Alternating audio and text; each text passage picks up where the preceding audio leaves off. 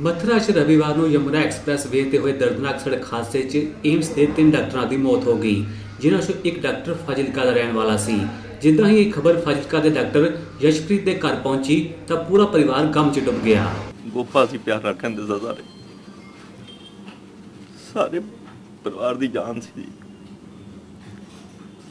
ਬਚਪਨ ਤੋਂ ਹੀ ਸੰਤਾਂ ਨੇ ਕਹਿਤਾ ਸੀ ਵੀ ਇਹ- ਡਾਕਟਰ ਬਣੇਗਾ ਤੇ ਡਾਕਟਰ ਵੀ ਬੜਾ ਕਾਬਿਲ ਬਣੇਗਾ।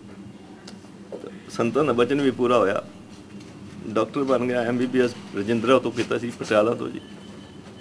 ਟੌਪਰ ਸੀ ਜੀ। 25000 ਵਜੀਫਾ ਮਿਲਦਾ ਸੀ ਇਹਨੂੰ।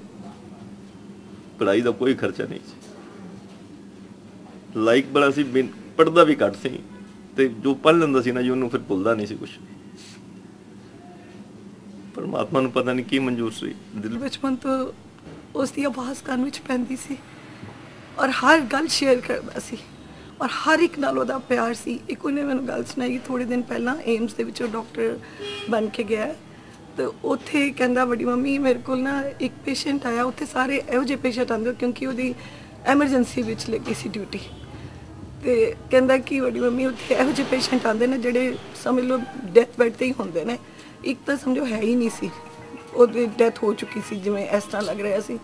ਪਰ ਕਹਿੰਦਾ, ਮੈਂ ਨਾ ਵੱਡੀ ਮੰਮੀ ਇੰਨੀ ਕੋਸ਼ਿਸ਼ ਕੀਤੀ, ਉਹਦਾ ਹਾਰਟ ਜੋਰ ਦੀ ਪੰਪ ਕਰਨ ਵਾਸਤੇ ਅੱਧਾ ਘੰਟਾ ਕਹਿੰਦਾ ਲੱਗਾ ਰਿਹਾ ਤੇ ਆਪਣੇ ਮੂੰਹ ਨਾਲ ਉਹਨੂੰ ਬਰੀ ਉਹਨੂੰ ਸਾਹ ਆ ਗਿਆ ਵੱਡੀ ਮੰਮੀ ਉਹ ਬਚ ਕੇ ਮੈਨੂੰ ਬੜੀ ਖੁਸ਼ੀ ਹੋਈ।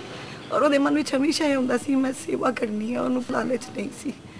ਪਤਾ ਨਹੀਂ ਪਰਮਾਤਮਾ ਨੇ ਕਿਉਂ ਉਹਨੂੰ ਬੜੀ ਥੋੜੀ ਉਮਰ ਦਿੱਤੀ, ਪਰ ਜਿੰਨੀ ਦਿੱਤੀ, ਯਸ਼ ਬਹੁਤ ਦਿੱਤਾ।